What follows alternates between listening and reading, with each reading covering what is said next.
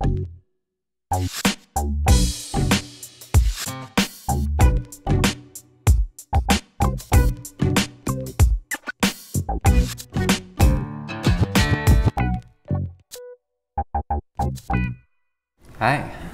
So this uh, website thing is something I kind of hacked together in Tumblr, uh, and it's very fun to play with. So let's get into this.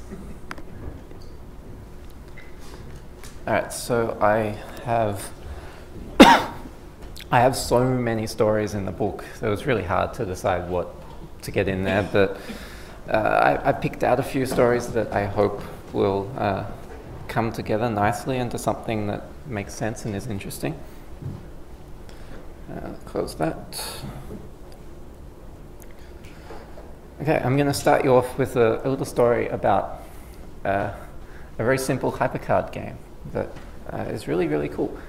So when Robin Miller opened HyperCard for the first time, he drew a picture of a manhole cover.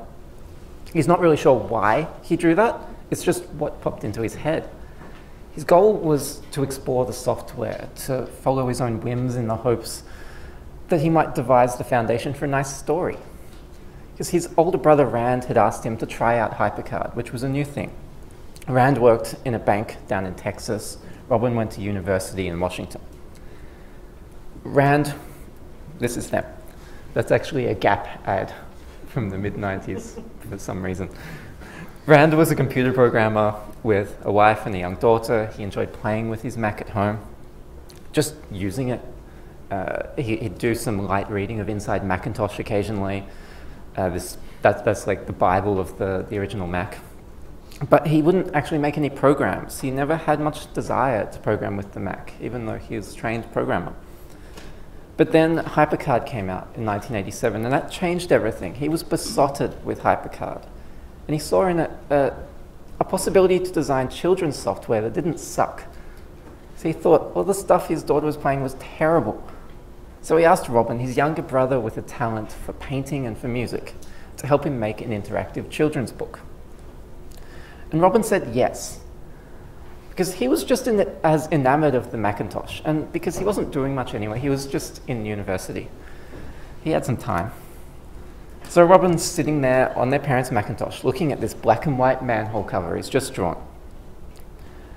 And he thinks, well, let's open the cover. So he draws another image. The cover opens, he decides to have a vine grow out of it, kind of stretching up into the sky like Jack and the Beanstalk. And suddenly there are two paths before him he's compelled to go up to see where the beanstalk leads, but also to go down to see where it came from. He doesn't want to turn the page, he wants to keep exploring.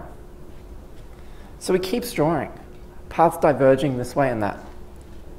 Sometimes they wrap back together again with points of interest to interact with and other stuff scattered around along the way. And he's drawing it all in the same stream of consciousness style that he started with. He's literally exploring and discovering these places while he draws them. And these will eventually wrap together if we get there. The process is liberating and intoxicating, and pretty soon it becomes clear he's not making an interactive children's book, he's making an interactive world. Now, I'm just going to step back from this for a moment and tell you a few things about myself. So, I'm a writer, a storyteller, a journalist. I spend a lot of my time these days working on book projects like this one. And I make a couple of uh, narrative style podcasts on the side. One's about play, the other's on games history. Uh, professionally speaking, I'm primarily a freelancer, at least until I can live off stuff like this. I get paid, sometimes poorly, sometimes well, to write about what appeals to me and my clients in technology, science, and games. I've been doing this for several years. I specialize in long form features, which is a type of article everyone thought was going to die uh, about a decade ago. I've written hundreds of articles across maybe 30 or so different publications. And I'd say, probably knowing the audience here, there's a pretty good chance that most of you have read something of mine at one point or another. So this one on the left will eventually end up in the same place as the one on the right just stopped. So I've done lots of uh, game genre history through Ars Technica, also a Mac OS 9 holdouts thing. There are still people who use Mac OS 9 as their primary computer. It's, uh, what, nearly 20 years old now? So it's pretty impressive. I don't have a slide for it. I think the last thing I did for Ars was uh, um, Age of Empires development history. I've done lots of app reviews and roundups for MacLife, heaps of features for Polygon. Uh, I do game dev stuff for Gamasutra, And I have this book. It's a deep dive into the Mac game scene of the 1980s and the 90s. Back in the days of shareware and black and white pixel graphics, of HyperCard and Myst. And that is uh, Rand Miller. Marathon. Ambrosia software. Uh, I think you can all read that. The break room will remain locked until employee morale improves. Uh, I'm sure these things are very familiar to some of you, and it's the reason I'm here today. So I really love old games, especially old Mac games. They're weird, they're offbeat. For the most part, they're, they're kind of atypical, they're original. Even when they riff on popular arcade games, a lot of them are really unique. Like the way Andrew Welch's Maelstrom makes asteroids feel cool and edgy just by sampling pop culture from the early 90s. Like there's Simpsons stuff and Beavis and Butthead that he just recorded off the TV. There's the quirky Egyptian spin that John Calhoun put on Joust when he tried to remake it from a memory of working in a pizza place one summer. There's this game that's beerware, which means, so it was released uh, a, at a license where they say, if you like the game, please send us alcohol. and it's an incredible reimagining of Gravitar. So there's some gravity stuff going on. So I grew up with Macs and Mac gaming. My dad bought a Mac Plus, which looks kind of like that, before I was born. Some of my earliest memories revolve around that machine. And I remember the first time I was truly captivated by a video game was when I was watching cartoons on TV. I was probably three or four years old. I think Captain Planet was on but it could have been Bananaman. so my brother had just got this new game called Alternate Reality of the City. That is my box. I still have the box. The discs don't work, and they've been overridden long ago. So the moment he started this game up, I zipped over there. I wanted to see what this incredible thing was about. There was this huge spaceship on the screen. It was descending down towards the city, and it was snagging people in its tractor beam. And there was some pretty music playing in the background. And then I think I'm remembering this right, but I, I might be uh, just remembering a different version of the game. It pops out into space and some song lyrics appear over the top of this moving star field. It's like karaoke style sequence to the music. And then finally you appear at some nifty looking gate, scrolling numbers on it, and once you step through that, you're in the city. So this is all black and white because this is still the days when most Mac games were just black pixels on a white background and because this was a Mac Plus and it didn't even have color output. And if, if people don't know, that is literally just black pixels and white. There's no gray in there. So alternate reality, uh, it's this really ambitious role-playing game.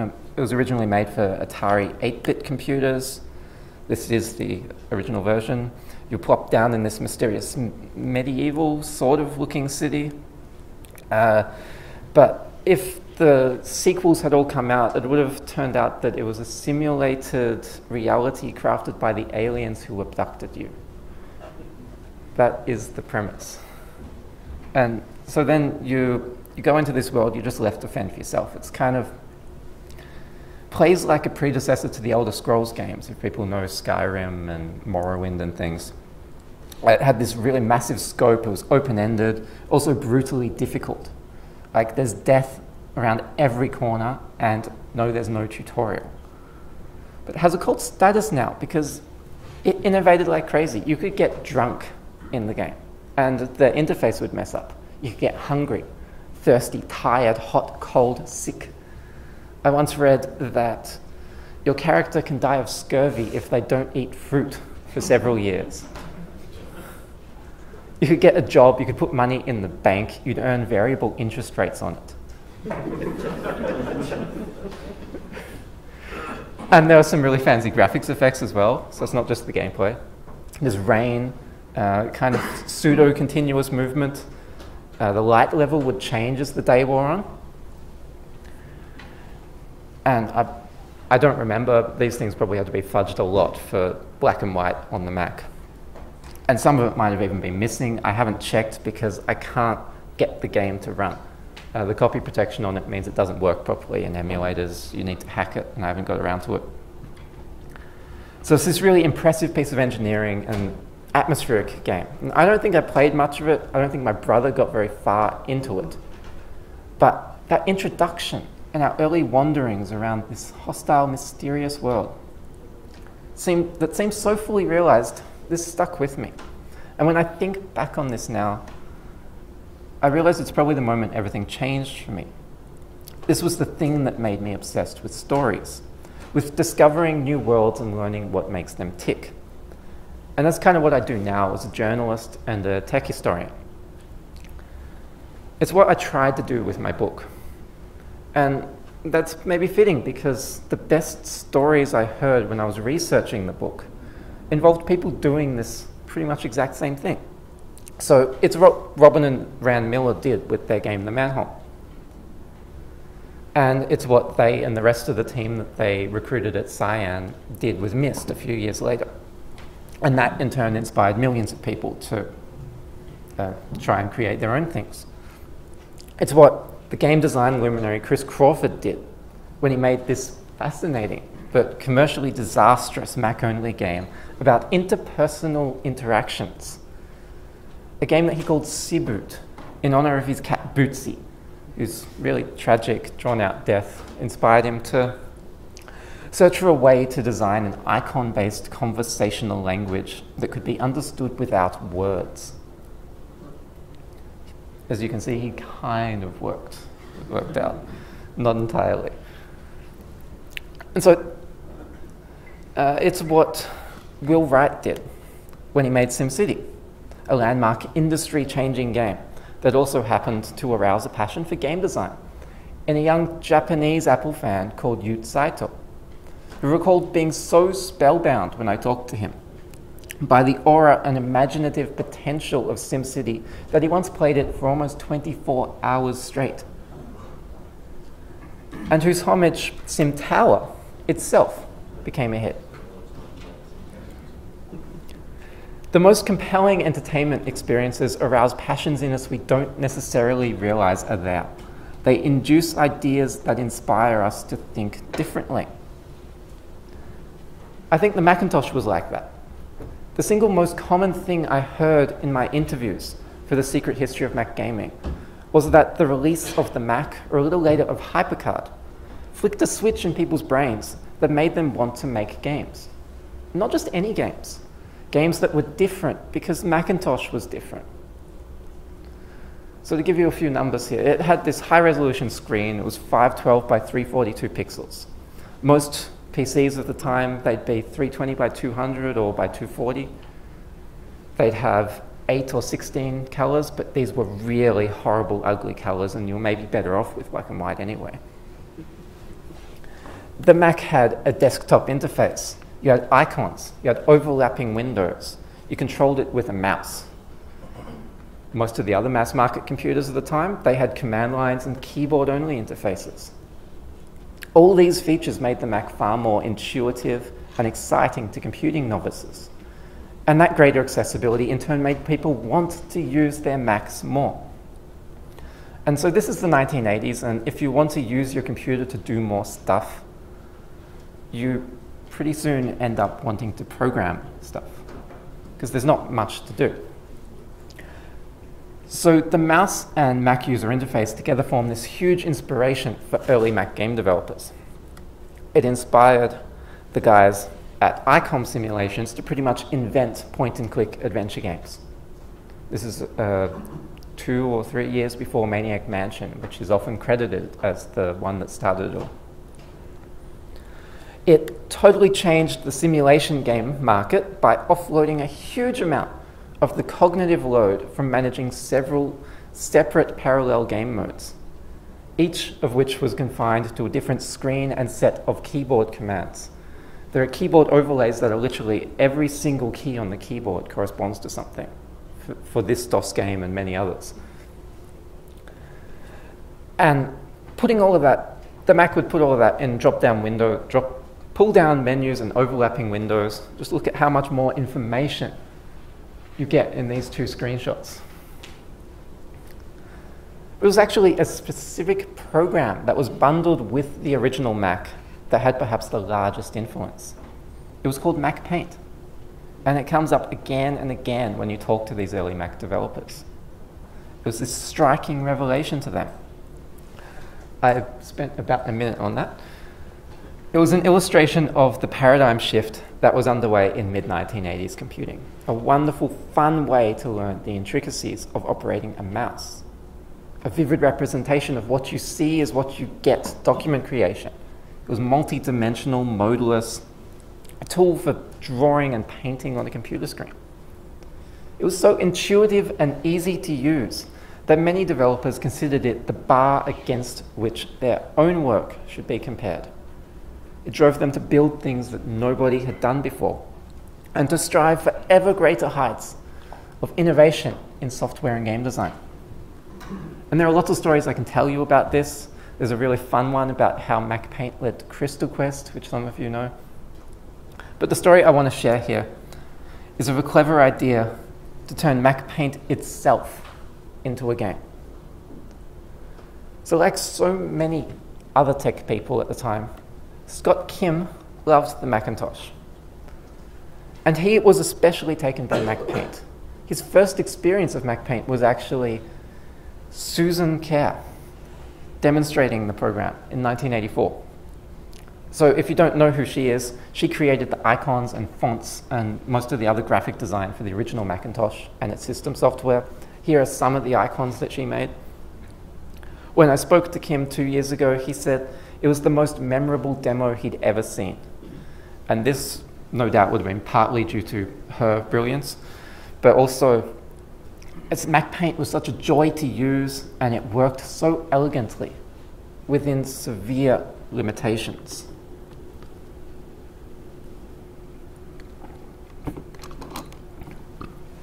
So I want to talk about those limitations for a moment. And back to this. You can only draw with the mouse because there's no touch screen.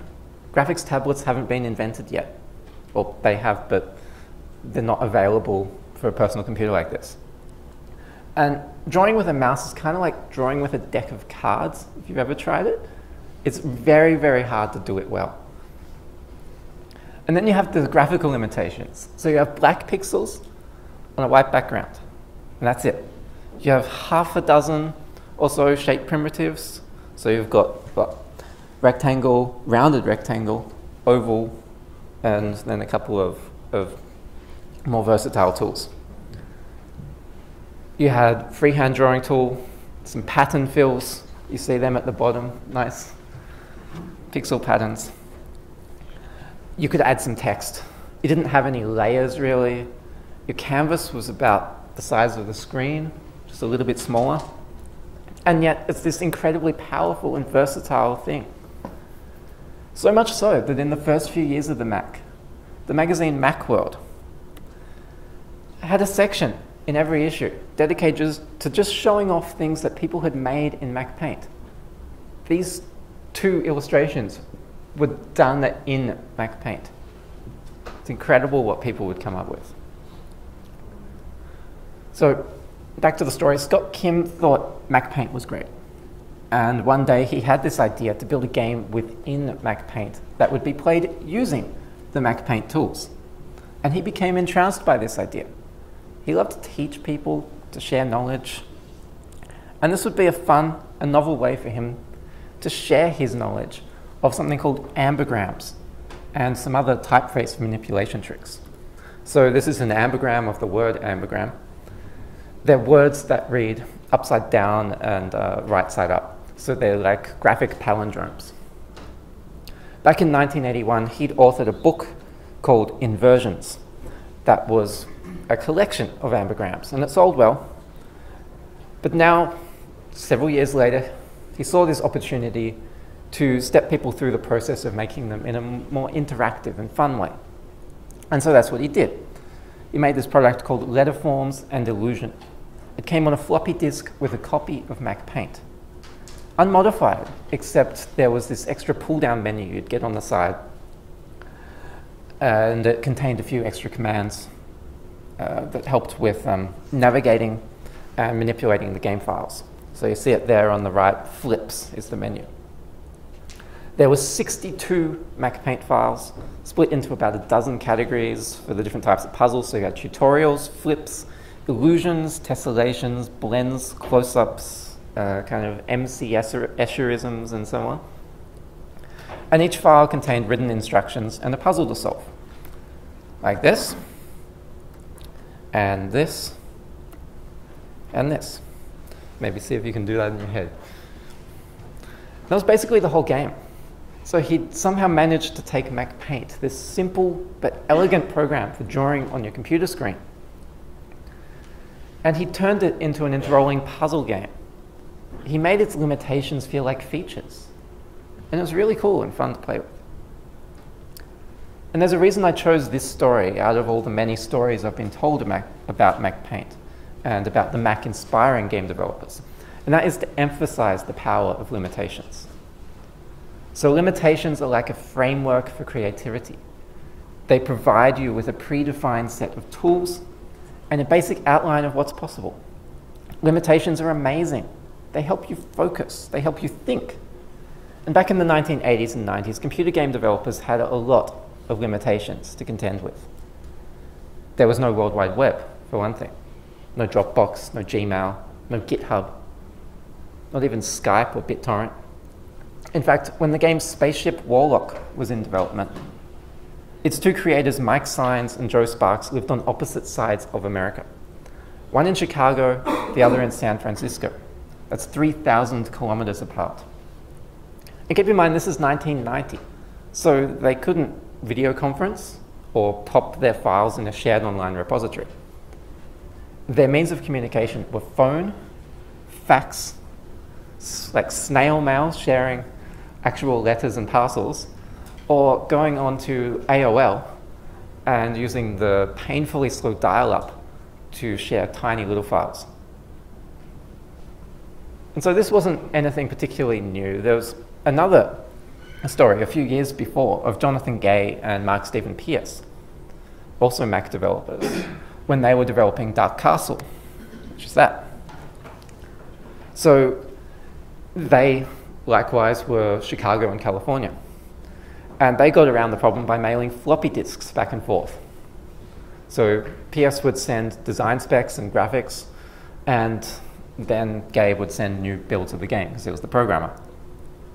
But Sparks and Saenz, they couldn't do that. Spaceship Warlock was going to be a CD-ROM game, a sort of interactive movie adventure with fancy pre-rendered 3D graphics. They wanted to capture a sense of the scale of, depth and wonder they'd gotten from films like Star Wars and Blade Runner. And here's a poster they mocked up.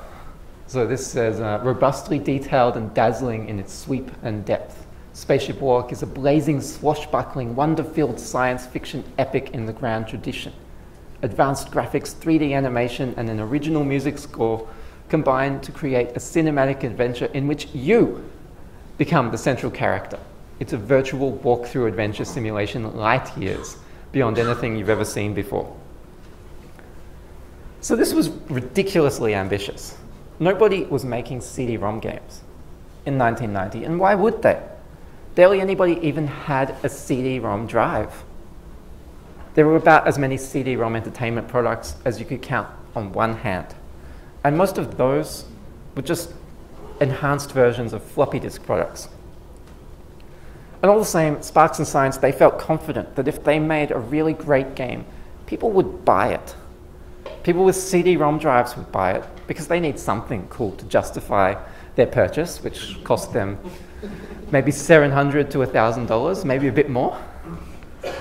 People without CD-ROM drives, they hoped might buy it too because, hey, CD-ROM drives are clearly the future and this game's worth jumping in on the technology early. And they, they thought they had some chance of pulling it off because Joe Sparks had been working at NASA Ames, building 3D computer models and composing music for uh, these space simulations and videos when Mike Saenz actually talked him into working on the game. And Mike Saenz, meanwhile, had co created the first commercially published digital comic book, Shatter, as well as helped out Macromind, which became Macromedia later and they got absorbed into Adobe, on uh, comic works and graphics works to creative apps. And he'd also made a strange piece of interactive adult entertainment called Mac Playmate. I didn't think it would be appropriate to put a screenshot of that in here. So these guys, they weren't just a random pair of wannabes. They knew their shit. And if anybody could pull off an interactive movie game about space pirates, it would be them. But before I tell you what happened, I give you some more context. So a standard 3.5 inch floppy disk stores about 1.4 megabytes of data. A CD-ROM, depending on its exact specs, will hold 600 to 700 megabytes. In 1990, most hard drives didn't hold anywhere near that much. In fact, Joe Sparks told me the internal drive on his Mac 2 FX was 80 megabytes. And he'd bought an external drive for $800. That was a whopping 120 megabytes. And that 120 meg drive, that's for developing the game with its many 3D models, each of which would be many megabytes in size. And so they could chat about the game over the phone. They could send sketches over fax. But they needed a way to reliably get these large files between them. And at this point, you're probably thinking, well, that's easy. You just burn a CD. Well, no. See, CD-ROM drives were pretty expensive, maybe a thousand bucks. But they could only read CDs. If you wanted to record data to a CD, to burn a CD, you needed to get something else, and that would cost maybe a $100,000. During development, somewhere along the way, they got really excited. A new product came out, could burn CDs, it was $30,000. So this is 1990 money, so that's even worse than it sounds but still, they, they thought, oh man, it's almost in reach. And so let's recap here. They can't use the internet. They can't use floppy disks because it's too big. They can't use CDs because it's too expensive to get them burned. What they can do is send a hard drive. Remember, they have one hard drive for developing the game. Their only hard drive with a full copy of everything. And so they'd send that back and forth for months developing the game. And then they'd need to ship it off to a mastering company for a test pressing. And then again later on for the production run. And you can imagine all the ways this could have gone wrong. Joe Sparks told me that he'd worked out the exact time he needed to finish work each day so that he could race out of his apartment, drive to the DHL parcel center, hand off the drive before 5 p.m. for cutoff to do overnight delivery to Mike Saenz, who'd do his thing and send it back, ready for Sparks to work on it some more. So they go back and forth like this every few days. The hard drive changes hands. And if you miss that cutoff, well, that's really wasted productivity. And they had even greater limitations than this. So even those CD-ROM drives could hold more than 600 megabytes of data. They had to keep the game under 120 because it had to fit in that drive. And that's a problem because 3D pre-rendered graphics take up a lot of space. And drive transfer speeds were slow, 150 kilobytes a second. CPUs at the time, they weren't really fast enough to handle decompression on the fly without sacrificing too much frame rate or making load times unbearably long. So to avoid stuttering and to preserve this cinematic feel and immersion that they wanted, they found they had to keep the graphics and sound files uncompressed. And they had to be 8-bit, even though Macs at the time could, could handle 16-bit. So in practical terms, we're talking 256 color graphics and 11 kilohertz sound files, both uncompressed. And this is not the ideal compromise, but it looked okay. You get a Blade Runner vibe from, from that. So Spaceship Warlock came out on the Mac in early 1991.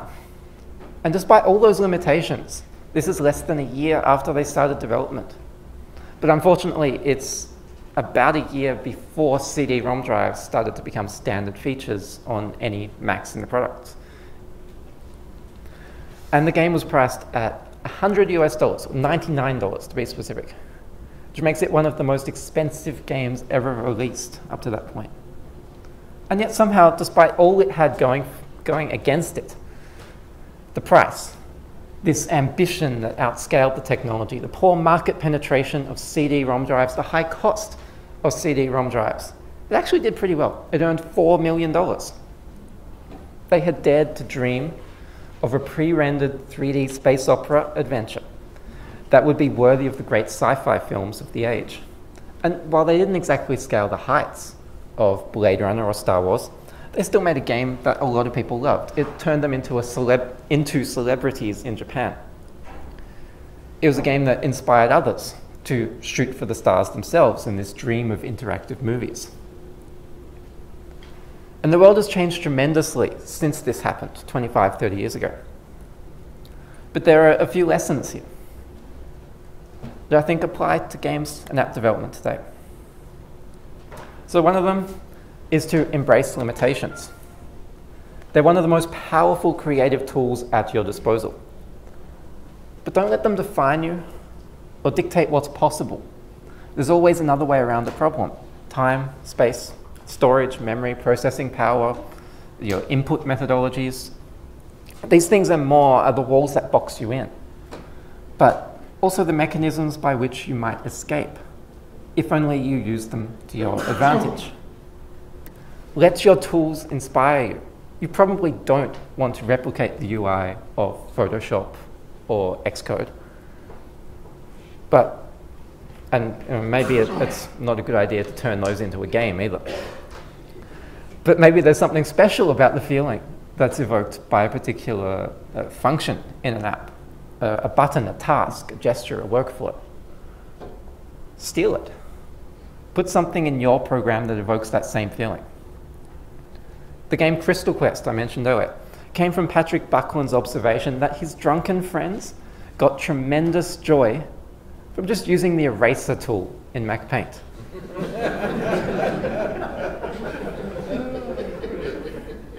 so he, he just made a game about erasing things. SimCity. It emerged from the fun that Will Wright had using the level editor he'd built for his previous game. It was called Raid on Bungling Bay. And it ended up also borrowing heavily from the interface as well as this general feeling of using Mac Paint. To the point where I would argue, and it was actually argued, argued to me by Will's neighbor from back in the day, that SimCity is basically a paint program for designing cities. It's a Mac Paint for cities.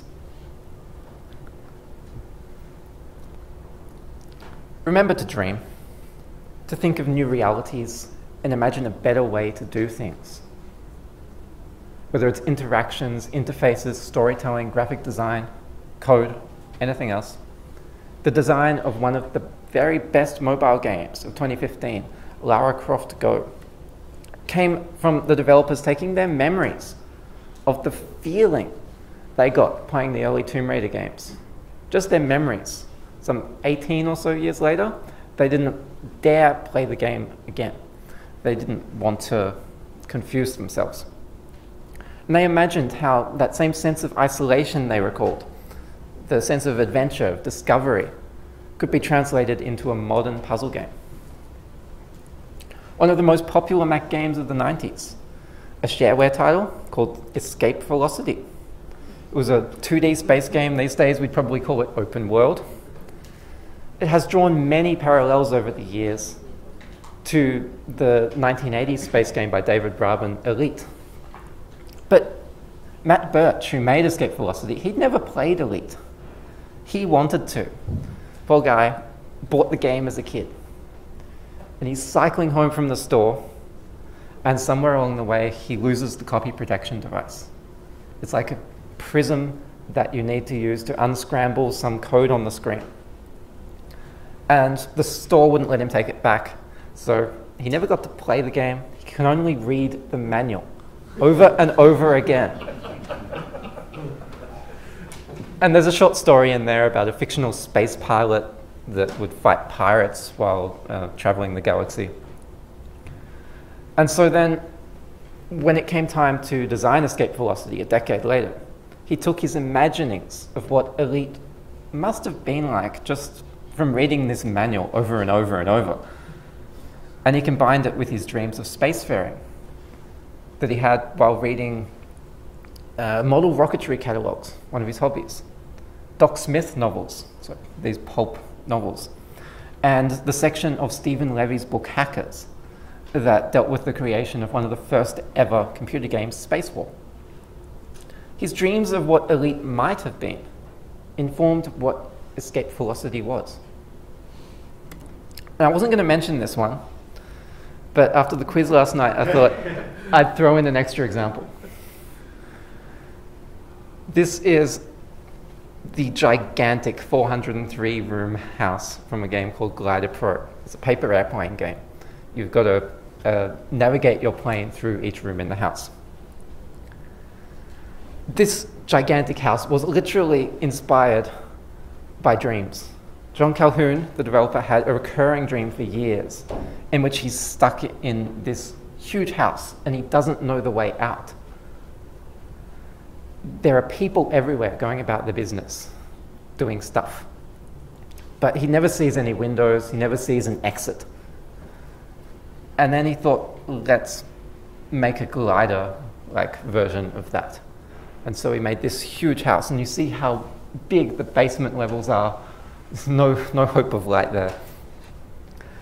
And in glider terms, there's no people, so there's lots of like, toasters and goldfish and basketballs that bounce up and down for no reason. And so continuing, do your research. If you're excited about an idea for a new project, but you're worried that the potential audience is too small, don't give up yet. Look online, ask around, do some digging. Maybe you're wrong. Maybe you'll create a new genre, new market category. Maybe you'll find some new niche.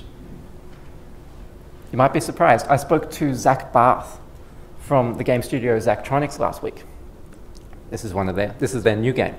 He's basically built a career on making games that appeal almost exclusively to programmers who like to optimize their code. Here are two solutions to the same puzzle. One is more efficient than the other. So perhaps you have a problem that you need to solve with the current project or an idea you haven't seen done before. Just go digging into software and games history. Chances are it has been done. Many times, probably. And maybe you can learn from their mistakes. Even if you're not trying to reinvent the wheel or design the next big thing, I guarantee there are lessons in the past. But don't look only to the past. It's important to still be aware of the trends in the present. So take inspiration from the dreams of those who came before you. Because the funny thing about big ideas is they become smaller over time. An idea that was once too big for the technology or the people using it, it might not be too big now. The latest game consoles are built on the same ideas that killed the 3DO, the Pippin, the Laseractive, the Nuon. Most of you probably haven't heard of any of them. The world wasn't ready for them 20, 25 years ago. We have a whole genre of games now that we call walking simulators. And these are really remarkably close to the ideals behind some flawed, fascinating games. Just to rifle off the Mac, the closest Macintosh examples I know, the Manhole, Scarabout, Nightfall, and The Colony. These are all games that are deeply flawed because they were made too soon for the technology to handle them properly. So learn from the past. The history of computing, games, technology, it's packed with lessons that we can carry into the future. But don't just look at the big famous stuff. There is so much amazing creativity and innovation, both well executed and not, that you can find lost in the weeds of history, in the, obscure, in the obscurities. So, just to wrap up a few general things, uh, some shameless self promotion. I, I have copies of the book, uh, this Mac gaming book with me today if you want to buy one. It's uh, $50. I have a, another book that's going into a crowdfunding project with my publisher uh, very soon, maybe this week. You can email me anytime, Twitter.